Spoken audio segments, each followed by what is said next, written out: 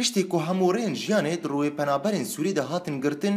hêviyan waniyan dawê Ewropa bû û yek ji van dewletên Ewropî Swîsra bû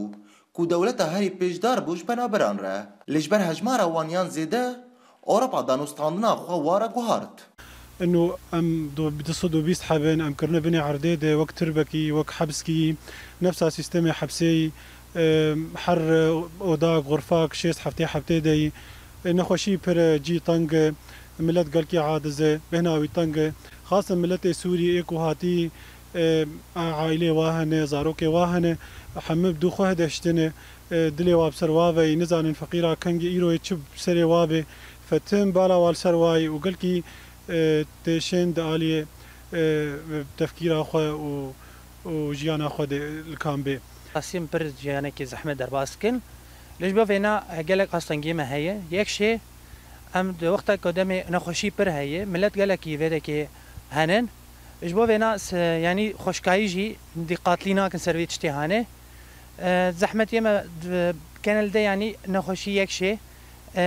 یعنی جیانه کی نخ خواندن وقتا دمه کم خواندن اشتین جی ام اصلنگی دکن براستی تم و تم یعنی پاکش بون جمر لازمه لە هەنە کامپێن پەنابەران لە سوئیسران مەچەند وێنە بە دزیڤە راك ژبەر دەرەباسبوونا لفان كامبين كو کامپێن و جهن جنجينا وجيان تيدا ژیان أصلاً نەچارە ئاستەنگیا پر أف ملت كو کومەرە آه، أمواد بينين بمره باشن يعني انسان مره بس ام دبينين حري حري لمدنا رن كيمي حشي حزرا انه كوچكي وان وكتكي وان هيفياما احري مزن وكو جيانا ما والمبنرن اما تشلو قدري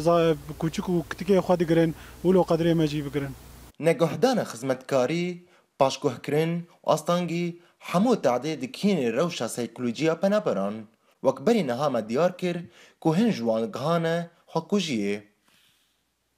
سیپان درکش با اورینت نیوز سویسرا